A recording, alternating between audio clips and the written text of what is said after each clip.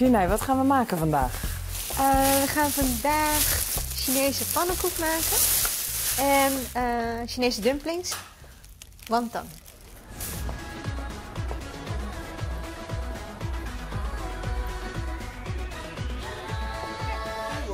Hi, hoe is ie? Mag ik van jou, eh doe maar 300 gram varkenschaal. Mooie dag. Hey, tuurlijk. Dankjewel. Hey. Dank je. Doei. Hier.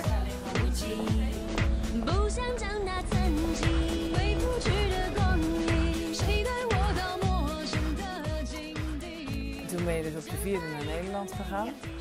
Wat aten jullie dan thuis? Aten jullie, gingen jullie toen over op de aardappels, groenten en vlees? Waarschijnlijk niet. eh. Nou, wel aan de brood, want dat is natuurlijk ja, wat je eh, veel eet in Nederland. Maar mijn ouders ko- kookten voornamelijk eh, veel Chinees. Ja.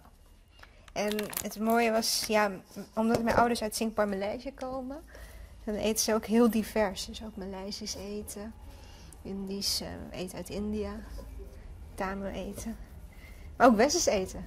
Mijn vader vond dat het eh, heel leuk om Westers voor ons te koken. En dan ging hij ook de tafel dekken met eh, mes en vork.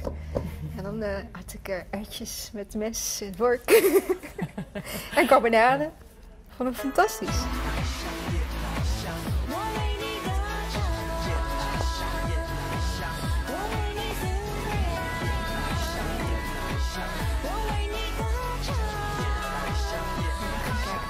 Wat, wat, is nou heel belangrijk in mijn leven? Wat, wat vind ik nou heel leuk? Echt zo leuk dat ik het elke dag zou kunnen doen.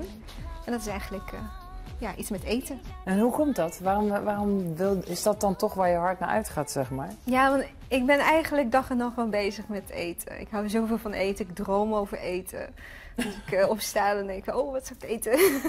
Ja. dus dat is eh, ja, een soort passie.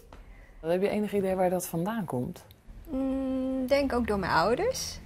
Die eh, waren veel met eten bezig. En ook de cultuur natuurlijk. Chinese cultuur is altijd wel met eten bezig. Dus je vraagt als je mensen ziet of belt, dan zeg je niet hoe gaat het, maar dan zeg je: Heb je al gegeten? Oh ja. ja.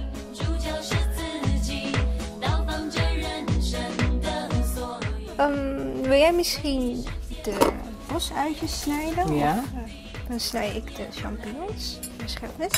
Serieuze mensen zijn dat? Dan je ze zo.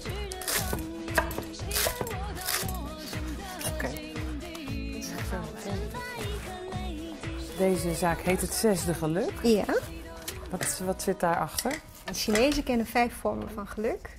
Echt hele standaard dingen zoals voorspoed, gezondheid, deugdzaamheid. Ja, eigenlijk hele algemene dingen. En het zesde geluk, dat is eigenlijk voor iedereen persoonlijk. Dat is een zoektocht. Eh, het kan van alles zijn. Het kan eh, eten zijn, een eh, vriendschap, liefde. Of dingen die je heel goed kan, werk. Want is dit inderdaad voor jou ook je zesde geluk, deze winkel? Ehm, ik denk wel een beetje. Nou, het leven is een lange reis, dus ik denk dat dit wel een groot onderdeel eh, is van het 60 geluk. Ja. Jullie thuis nu ook naar gekeken? Ja. Kaas of kipwil? Mag ook allebei, maar... Ik werk heel graag met kinderen. En kinderen leren heel snel.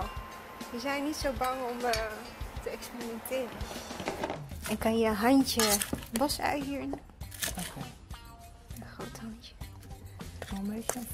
Ja, nog een beetje. Ja, heel goed. Wat ik ook altijd wel hoor van mensen die ook in China zijn geweest. De Chinezen die eten alles. Hè. Be- Beroemd is natuurlijk altijd hond en kat en zo, wat iedereen roept. Maar Nou, de Chinezen tegenwoordig hebben tegenwoordig huisdieren hoor. Dus eh, honden en katten, dat is wel heel extreem. Het komt misschien in bepaalde streken voor. Maar ik heb nog nooit hond en kat gegeten. Ik heb zelf een kat, dus je belandt niet hier op de... nee. Nee. nee. Zijn er wel eens dingen die je kookt dat mensen echt zeggen van... nou, dat wil ik niet eten of dat ken ik helemaal niet? Of, eh, Ehm, ik, ja, ik denk heel veel ingewanden vlees en, en organen die je normaal niet eet. Zoals varkensoren, eendentongen, eh rundermagen. Ja, Chinezen eten alles, hè. Dus Ja. eh, het hele dier wordt ge- gebruikt. Een delicatesse is bijvoorbeeld het oog van een vis. Hm. Die zuigen ze helemaal leeg. Ja, het schijnt heel lekker te zijn. Maar je hebt het ook nog nooit geprobeerd? Jawel, jawel. Ja? jawel. En? Ik vind het zelf niet zo heel bijzonder hoor. Nee, Ik ben niet zo vies van eh, rare dingen. nee. Nee. Het raarste wat ik ooit heb gegeten, dat is leuk om te vertellen, is, was, eh, is iets eh Vietnamees. Is een eenden-embryo. Dus eh eenden-eieren. Dus de kuik eigenlijk al ja, een beetje volgegroeid met veertjes zo.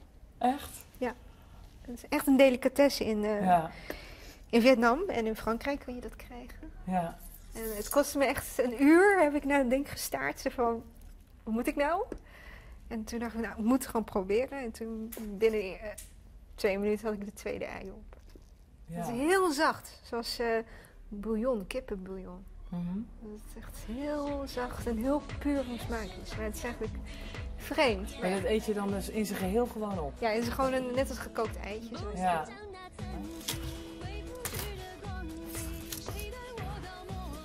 Het zijn dan de geweekte Chinese champignons. Die hebben echt een typische smaak. We gaan nu aan wantons maken. Even vormen. Lepeltjes. Dit is vel. Die een beetje gehakt is. Je kan een beetje nat maken, hoeft niet, omdat het hard plakt. Je doet de hoekjes naar elkaar. Je schuift alles. Ik krijg eentje. En dit is je. Oh, het ziet er wel heel erg uit als, hè? Het is niet moeilijk, hè? Nee, het valt inderdaad mee. Terwijl ik toch niet echt een een ontzettende keukenprinses ben, Ja. maar... eh, En de Italiaanse ravioli is eigenlijk hierop eh, gebaseerd. pasta komt helemaal niet Ja, uit Italië. nee, nou ja, pasta komt wel uit Italië, maar Marco Polo die is naar China geweest. Ja. En die heeft eh alle soorten noedels en dumplings gezien. En eh, die heeft het meegebracht naar Italië. Oh, dit, is, dit kookt. Dat kan zo in de pan. Ja, want dit is die beetje die ontslaggend is, toch ook? Want dat heeft mijn vriendje genomen. Dat het het... Ik dacht ervan. Ik wil de wenkbrauwtee dan weten.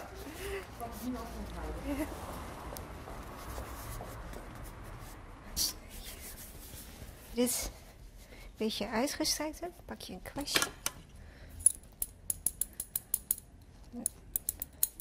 Doe daar een klein laagje sesamolie, een beetje zout. En dan wat betekent het voor jou dan, koken? Ja. Lekker bezig zijn. En eh te werken naar een eh, eindproduct. Dat je lekker kan genieten. En dan ben ik ook geen architect geworden. Omdat het eh, te lang duurt voordat je het eindresultaat ziet. Ja. Het eten is gewoon, je maakt het. Het duurt soms misschien een paar uur. Maximaal. Of eh, soms twee, drie dagen. Ja. Maar het resultaat eh, is vaak... Is er sneller dan wanneer je moet gaan bouwen? Ja. Ja.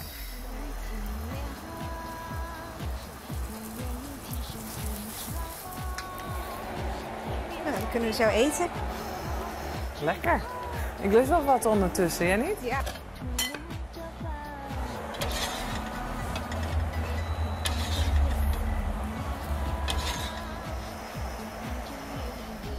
Nou, lekker, dankjewel. Eet Smakelijk. Chinezen zeggen dan eh, mama zhu. Nou, mama zhe. Dan. Zhu, zhu, Mama zhu, Zhe. zhu. Met TR. Zhu. Ja, die. Smakelijk. Eet smakelijk. Eet smakelijk.